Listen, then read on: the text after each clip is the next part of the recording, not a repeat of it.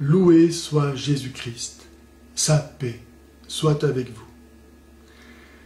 Dans toutes les religions, les hommes ont offert des sacrifices à la divinité, tant ils avaient conscience que par le péché, ils avaient perdu quelque chose que Dieu leur avait donné, et qui n'était autre que la relation avec Dieu, la vie avec Dieu. Mais ni le sang des béliers ou des taureaux ne peut équivaloir à la vie avec Dieu. Pas même la vie des hommes offert en sacrifice, comme on l'a vu dans certaines religions, en Amérique latine par exemple, et que l'Église, lorsqu'elle est arrivée, a fait cesser.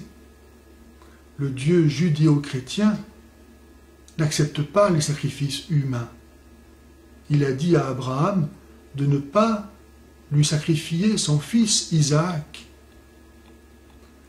Mais même un homme qui s'offrirait lui-même ne peut pas être une offrande digne de Dieu, car marqué par le péché, il ne peut pas être digne d'être offert à Dieu. Ce qui fait la valeur d'un sacrifice, ce n'est pas tant l'offrande elle-même, que la perfection de l'amour qui offre cette offrande. Dans le cas du sacrifice du Christ, cette perfection est totale, car parfait est le prêtre, qui est Dieu le Fils fait homme. Parfait est la victime, qui est Dieu le Fils fait homme. Le prêtre et la victime ne font qu'un.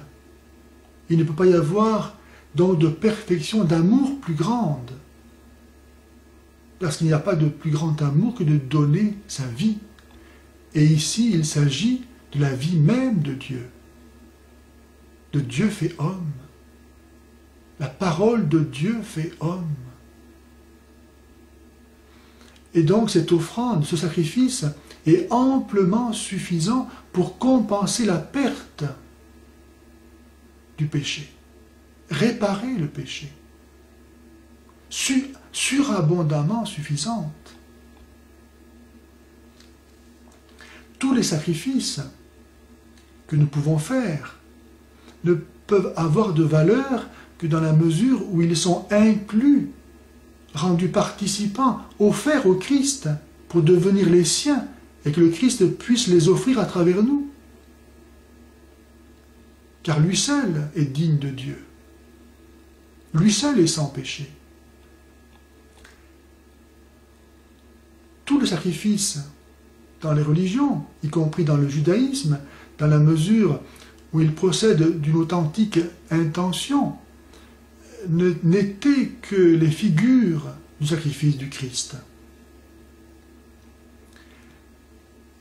La perfection du sacrifice de Jésus réside donc dans l'unité entre le prêtre et la victime, qui sont une seule et même personne, offerte pour nous. Mais cette unité, elle est encore celle qui est entre l'offrande et celui à qui elle est offerte. Car le Père et le Fils sont un seul et même Dieu, sont une seule et même nature divine. L'unité est encore entre l'offrande et ceux pour qui elle est offerte. Car les hommes et le Christ ont la même nature humaine. Et de même que le Père ne peut pas ne pas s'accepter lui-même, il ne peut pas ne pas accepter son Fils. Et de même qu'il ne peut pas ne pas accepter son Fils avec qui il est un seul et même Dieu, il ne peut pas ne pas accepter l'offrande que son Fils lui présente et qui est lui-même. Et de même qu'il ne peut pas ne pas accepter l'offrande que son Fils lui fait de lui-même, il ne peut pas ne pas accepter ce pour qui l'offrande lui est présentée, et qui sont les hommes. Il a la même nature que son Fils, fait homme. Et donc nous sommes réconciliés par le sacrifice de Jésus, lavés dans ce sang du Christ qui nous purifie de tous nos péchés et nous rétablit en grâce avec Dieu. Le Christ est mort pour nous donner sa vie et par son sang nous laver de nos péchés, nous rendre capables d'une vie nouvelle.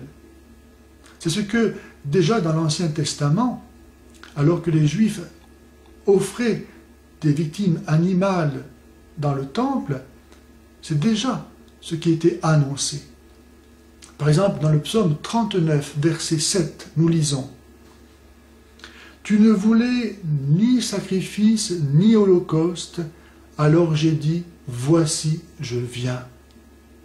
Déjà, dans l'Ancien Testament, le Seigneur annonce qu'il est question d'autres sacrifices, d'un autre sacrifice que de celui des animaux, celui de quelqu'un qui, qui s'avance librement, qui dit Voici, je viens. Jésus, en lisant la Bible, a découvert là, humainement, l'expression de sa vocation. Dans le livre de Jérémie, chapitre 31, verset 31, nous lisons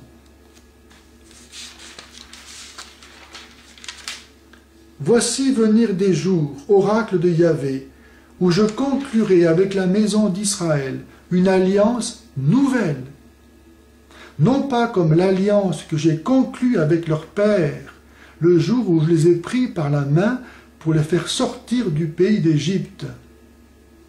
Autrement dit, Dieu annonce que l'ancienne alliance donnée à Moïse est rendue caduque par le sacrifice du Christ, qui est éternel, parce qu'il est celui de Dieu fait homme, et qui est parfait, et donc qui ne doit pas être remplacé.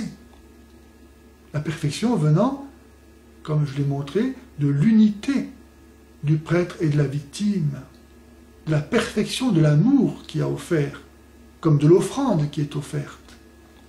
Ou bien au chapitre 32, verset 40 je conclurai avec eux une alliance éternelle. C'est au futur.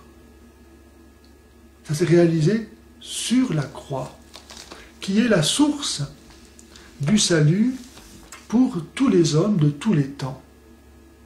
Désormais, il n'y a pas à attendre de nouveaux saluts, de nouveaux sacrifices. Le sacrifice de Jésus, est valable pour tous les temps et pour tous les hommes parce qu'il est surabondamment suffisant pour compenser tous les péchés.